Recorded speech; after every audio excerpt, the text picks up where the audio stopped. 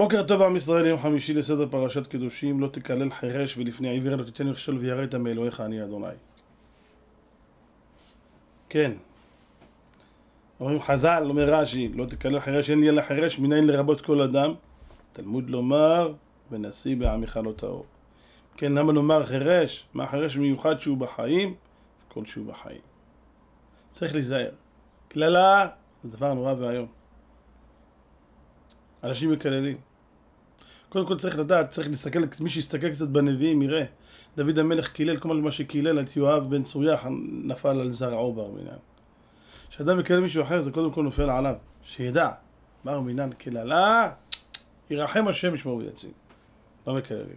לא לקלל. אנשים חושבים מה שכתוב בו לא לקלל חירש, חירש אסור לקלל. לא. אסור לקלל כל אדם. ועוד דבר ולפני עבר לא תתן מכשול. גם. אדם מכשיל את חברו בר מינן.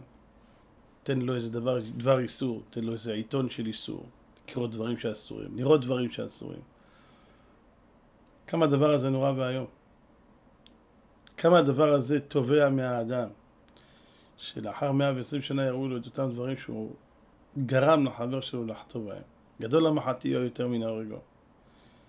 ויראת מאלוהיך, אני השם. מה, מה יותר מהמילים המפחידות שלנו? ויראת מאלוהיך.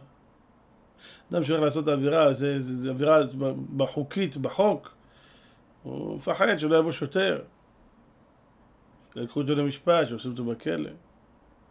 אבל צריכים לזכור, שוטר יכול לפגוע לך אולי בגוף, אולי בחירות שלך בכלא, לא יותר מזה. כמו שאמר רבי יוחנן, אם היו מוליכים אותי לפני בשר ודם, הייתי פוחד.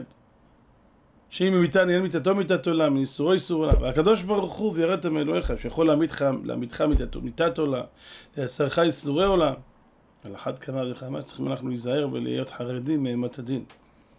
ולכן, ודאי זוהי קדושה גדולה שיהודי נזהר, שהוא חש, שזה שמים כיפה על הראש. להרגיש את אימת השם, להרגיש יראת שמיים. כעשה רשח כי יחיד תהיה והלך אימתא דשמיא. מכסים את הראש, מרגישים יראת שמיים. מרגישים יראת שמיים, אז כבר לא עושים כל מה שרוצים. אז אנחנו גדורים ושמורים. ברוך הוא ישמור אותנו מכל רע, אמן ואמן.